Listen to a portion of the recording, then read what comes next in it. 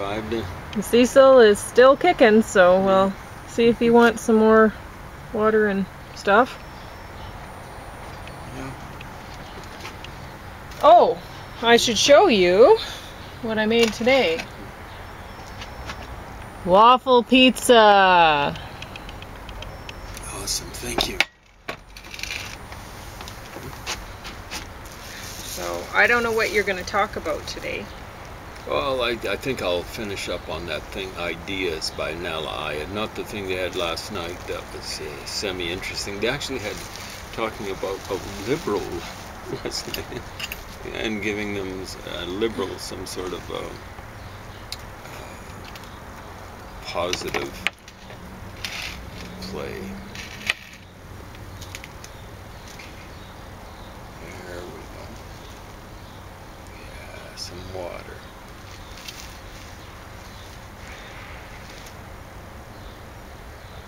I just woke him up. Oh, okay, that's why he seems a little bit. Uh, Yeah, I don't know. Oh. I mean, you never know, right? You never know.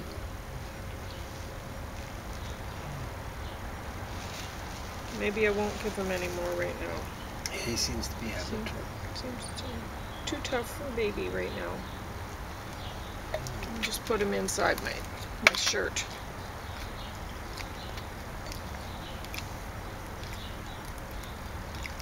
Anyway, you go ahead and talk. How's your pizza? Oh, it's good. I'm not worried about it.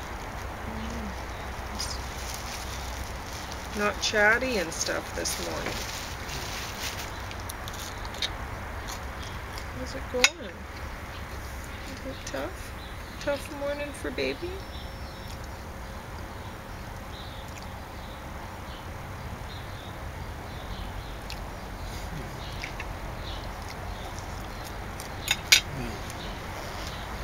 We've been in there for a while. Oh, work.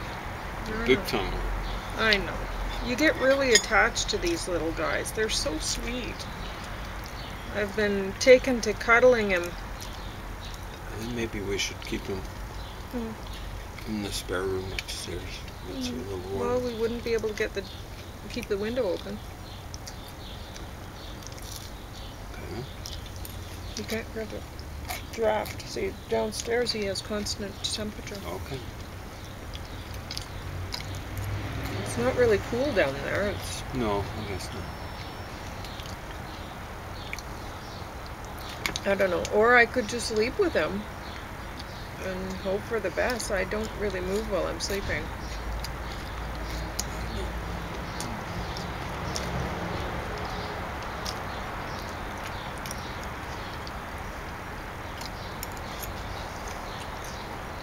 But yeah, little buddy definitely isn't a downy woodpecker because he doesn't have the white chest. Yeah. I figure he might be a northern flicker, Mhm. but I'm not sure. Saw a northern flicker last night on the tree that he, I figure he fell out. It was just like maybe six feet away from where he, uh, the trunk was, from where he was being assailed by the crows. Oh, poor little buddy. Poor buddy.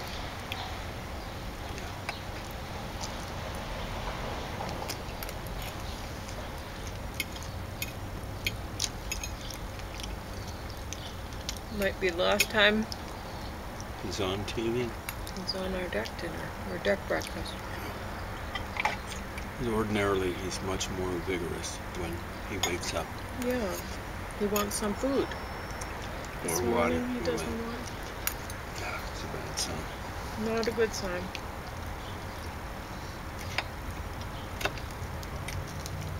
I feel like getting up and pacing. you I know. know. Um, Poor little sucker. anyway, now lied. So the night before, ideas. She'd been to Cairo and uh, to Tahrir Square, uh, Freedom, so-called Freedom Square, and uh, she was reminiscing with uh, three people. I think one of them had been there, marching from a mosque. Okay, mm, well.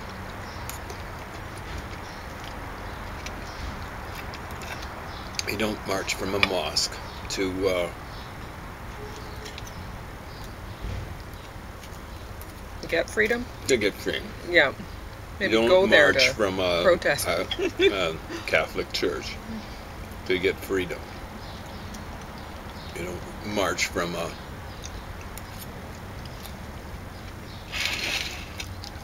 from a Nazi or a, a communist meeting. monument or meeting or whatever to get freedom. Yep. You don't march from a Mormon temple to get freedom. So I'm covering a lot of bases. You don't march from a Hindu temple to get freedom.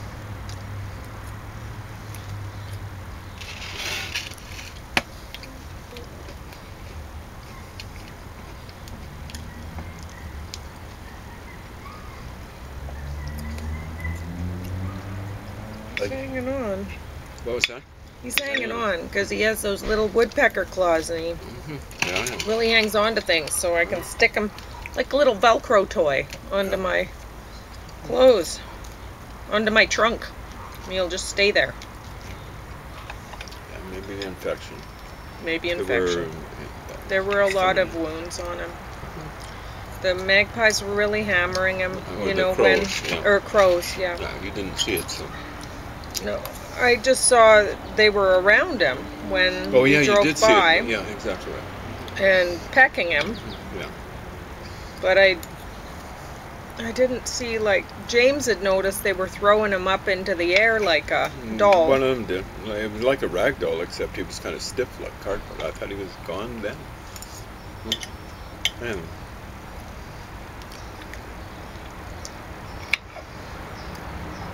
So she has three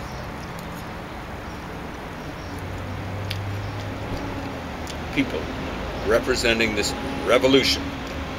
Now, my reaction when uh, I saw it on TV, I was dying from multiple myeloma. I didn't know what I had. I could barely walk around. I was trying to walk around without triggering a back spasm. I ended up with five fractured vertebrae, compression fractures. I was more depressed about what I was hearing. Couldn't really see it on TV. I was walking around the house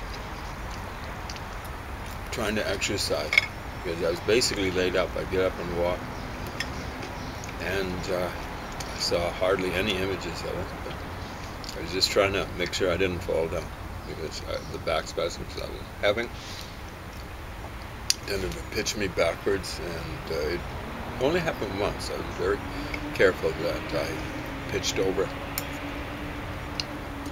uh, I don't think it caused any long-term damage. But when listening to this, I'm more depressed about what was happening with the so-called Arab Spring. All these stupid faux gauches were so enthused, and people who were being fooled by faux gauches. Wow, this is going to bring democracy to the Middle East. Wow. You guys are stupid as George Bush Jr., thinking he was going to bring democracy into the Middle East, and as stupid, I'm not exaggerating, but thinking he would bring democracy into the Middle East via Iraq. You guys are stupid as George Bush. I'm Dick Cheney. And Donald Rumsfeld. Stupid. All you guys. Well, I don't know. Rumsfeld was making a lot of money off the deal. Well, Cheney was too. But they really thought, hey, you know, Did they really think, or did they really think we're going to make a lot of money off this? they really thought. They thought they were going to save money, like uh, they got plenty of other ways of making money, you know. Rumsfeld eventually lost his job and stuff like that. He's still alive. He's still making money somewhere. You know, there there are less uh, dangerous places to make money in the world today for scumbags like that.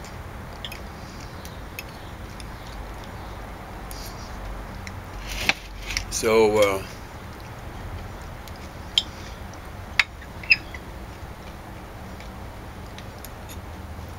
I'm watching and I'm saying Napoleon.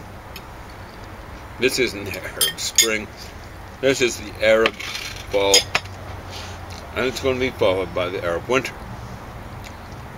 I knew it would be expropriated, the so-called revolution, as it was in Iran, by religious fundamentalists, Muslim fundamentalists. I knew. And of course, I was right. The reason there's a reason why I read books, and there's a reason why people should read books. You don't read fiction to find out things. Are you hearing that, you faux gauches and people that are impressed with faux gauches?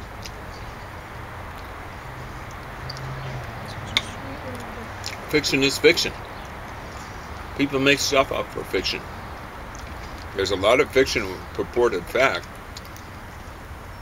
but you'd better be reading Sorry, little buddy. stuff. Sorry.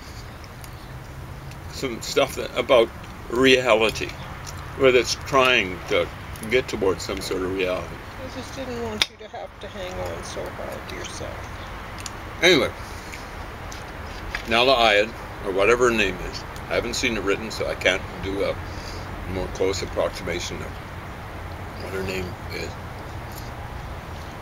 She's got these three guests. You think she'd have people that kind of gave a spectrum of opinion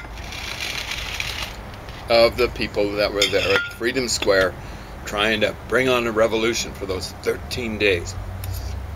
They all, like her, swing from the left side of the fence.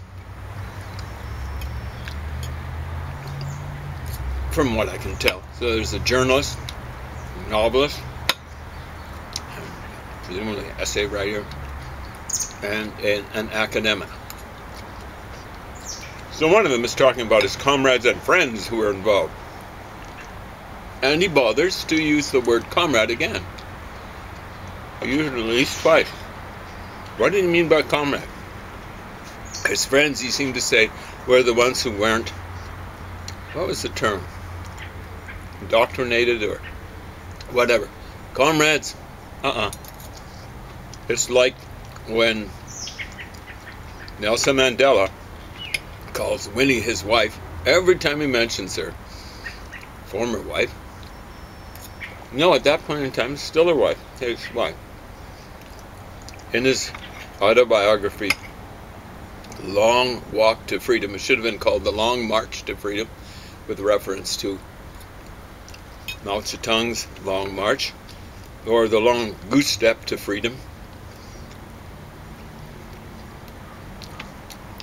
because he was using terrorism. He was the the you know like the IRA for example has a military wing and a something like a civilian wing or a political wing. Mandela represented the civilian or political wing. Eventually, uh, initially he was the he uh, came up, he developed the spear of the party. You know, I can't see Muhammad Gandhi, you know, Muhammad, Mahatma Gandhi developing the spear of my movement. Yeah, wow. I mean, he just gives it away. But yeah, he's calling all his uh, buddies comrade. Yeah, okay, yeah, yeah truth in advertising there, folks. The ANC was communist, even worse. Communist combined with Nazi. Right? National, pan-Arab nationalists. Their biggest disappointment was when the Soviet Union went down. Now all of a sudden, they had no international cronies to protect them. So they actually had to have something like a pretense of democracy. Something that was less, uh, less of a pretense than would have obtained if the, if the communist citadel of Russia hadn't fallen. Anyway, Nella Ides got these flunkies there. And I have to be, I'm listening. No, I missed the first 15 minutes. Maybe she explained really carefully what these flunkies believed in. You know, it's all about the revolution, the action, not about what these guys were revolting for. What did they believe in?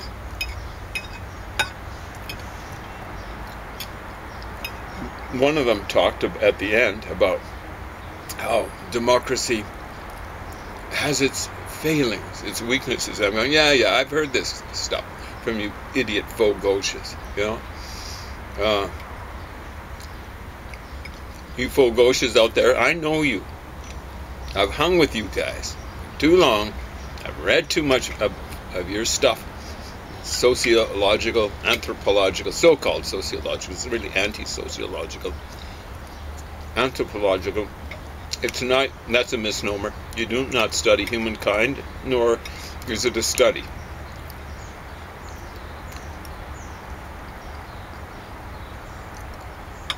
It's just whatever pablum you throw up against the wall, and you hope some of it sticks. Fictional pablum. So the key thing is, what were they revolting for? See, they had something like free elections in Egypt after the so-called revolution. Now the whole thing is, you don't have a revolution where people die. Not many people died. Some did. Some were put in prison, tortured. And uh, what was the vote? 72% for the forces of democracy.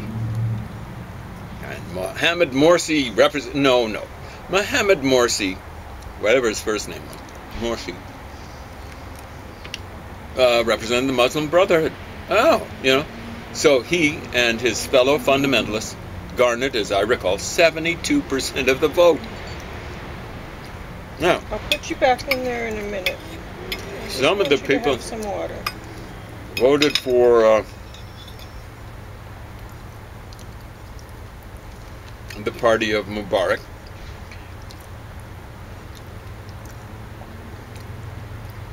Don't grab that.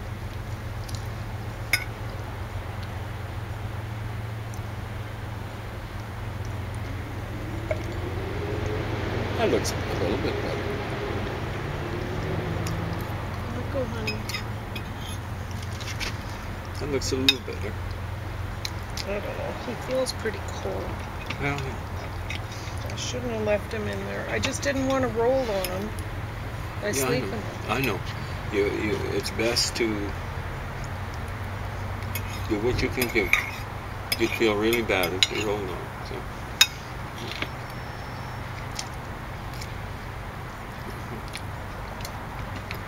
So 72%.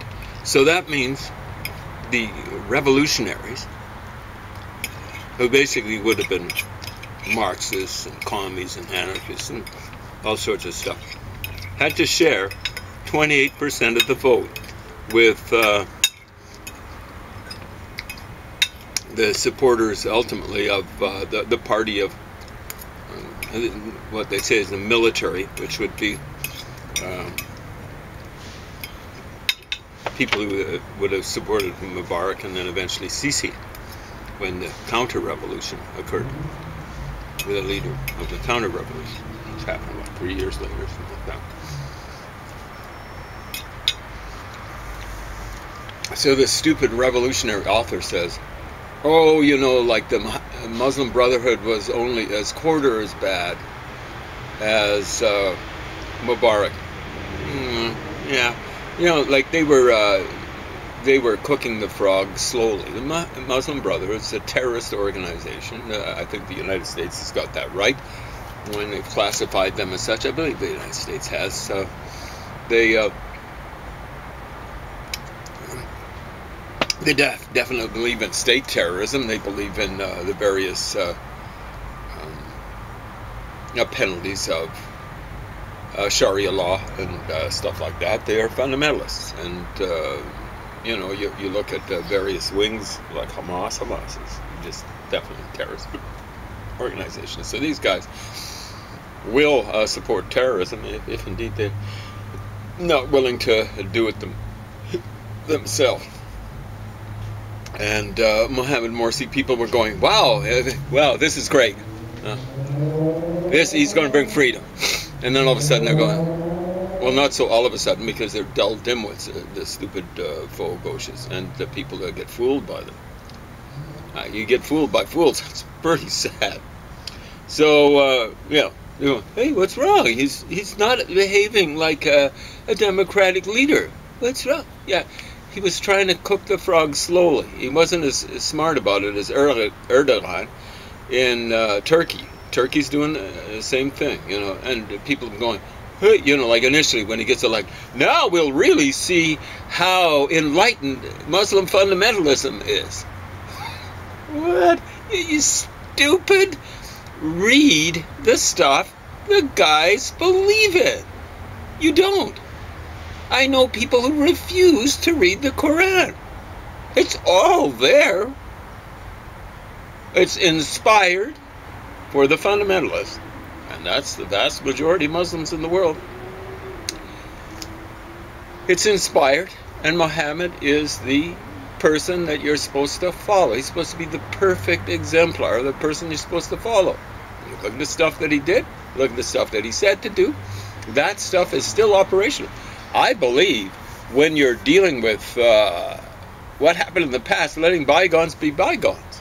But if the people who believe in a certain thing don't believe in letting bygones be bygones, in other words, still believe in behaving the way someone behaved 1400 years ago, that, you know, like that's not going to wash with me. Then you can't let bygones be bygones. You look at the way the guy behaved, you look at what he said to do, and uh, stuff like that, and the law that's based on it, Sharia law, and it's unacceptable. Taken in total, there'd be parts of it that Sharia law will tell people, you know, you got to worship five uh, times a day. And uh, okay, that's fine. I don't have a problem with that, so on and so forth. But uh, there are certain parts of it that are absolutely unacceptable. And they would have been unacceptable back then and they're uh, particularly unacceptable now. So there you go, 72%. That's why people uh, sac for some of the some of very small portion of people who were in that revolution actually believed in democracy. The people, Mubarak's folk, are Nazi commies. At least that was, that's what they were originally. They kind of moved away from the communism, but they were still Nazis and they're national socialists. They believed in pan-Arab nationalism at least Gamal Abdel Nasser did, and Sadat did initially. Uh, you know, and th then he found out that the the commies, the Russians, were trying to assassinate him. So he kind of tried to cozy up to the United States. And Jimmy Carter was stupid enough to to think that that cozying was for real. Hey, he likes me. I'm Jimmy Carter. I'm I'm a goober farmer from Georgia, from Plains, Georgia. And Sadat, Sadat didn't like you, Jimmy. Jimmy Carter. He was just scared of the Russians. Where can I run? Where can I hide? Any port in a storm, even this stupid port called Jimmy Carter. Jeez. Anyway, uh, so so there are those, and then there'd be the anarchists, the commies, the Marxists, the Trotskyites, whatever. I don't know. I don't know how much of that 28% uh, support was garnered by that uh, flunky group. And then somewhere in there, there'd be people who actually believe in democracy. if it was a third of that 28%, I'd be saying, wow, that's awesome. I don't know. What's a third of 28? It's a little over 9, 9% and not even 10%. I don't 5% maybe uh, is all the, uh, the, the the number of people in Egypt and the electorate back then is probably roughly the same now. They actually believed in democracy, something like liberal democracy. So, there you go, Alan Nyad. Your idea was just absolutely stupid. You weren't presenting the ideas behind this. It was just action, direct action. Let's get out there and have a revolution. Yeah, what's the idea behind it? Why, why are you uh, sacrificing your bodies and your lives and your freedom and stuff like that? Only to have an election where fundamentalists are elected. That's not a revolution. That's a devolution. You know, uh, women had a certain degree of freedom under uh, Mubarak. A certain degree of freedom to walk around without uh, uh, a certain uh, having to wear uh, too much clothing. I mean, this is a, a society where it's uh, Egypt. Uh, almost all of it's basically desert. Herodotus said it's the gift of the Nile. And that's one of the cases where Herodotus uh, wasn't mistaken. Yeah, it's the gift of the Nile. It would just be pretty well flat out desert, except maybe the uh, delta area. Flat out desert. That's why you get the mummies. It's been so dry. I mean, they, it's not just you don't get much rain there's not even a lot of uh, moisture in the air. So dry. I, I, mean, this is the southern part of Egypt. So, Pete's sake, Pete's sake, like, uh, don't have a revolution where you're just going to, you know, like uh, D.H. Lawrence said, uh, wrote a poem. Let's have a revolution for fun. Well, let's not have any revolution for fun, but uh, you know, it's like let's have a revolution for pain. You know, like nothing will come of it except uh, we're going to sacrifice our uh, health and our, our lives. Yeah, that, it doesn't make any sense.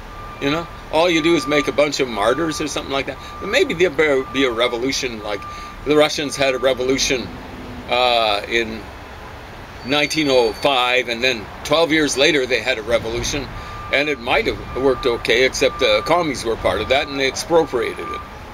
So uh, the expropri expropriators expropriated the revolution. I'm kind of messing around with Marx in case you guys haven't done it. But at any rate, uh, the uh, you know, like uh, it, it's just it, it, it was a failure. It's a miserable, masochistic failure. The Russians had their revolution 12 years after, so maybe, maybe, maybe Egypt's going to have a, a real revolution. Well, hopefully, more successful than Russia in uh, 2023. communists that we're seeing, mm. it's uh, these movements, you know, with. Mm they haven't come through the industrial side of things, but they're just wanting to fast track it. Yeah. And really, it's a it's a corporate it's a corporate system that they're setting exactly. up with a big CEO at the top. Exactly. You know, he's a dictator and he takes power away from the people. Uh, absolutely. These movements do not ever give power to the people. No. They take power power away from them. It's way more corporate than what they've replaced. Yeah. The, because it's technologized, uh, not just because it's technologized, but also because uh, of this belief system in centralization. So uh, this is what happened in China. It didn't come through. An industrialized country, same sort of thing with Russia to a large extent. Russia had started hesitating. And well, the South to, American. Oh well. I mean, that's just a joke. Yeah, it's a joke. They're all jokes you know, Marx, uh, Marx at, at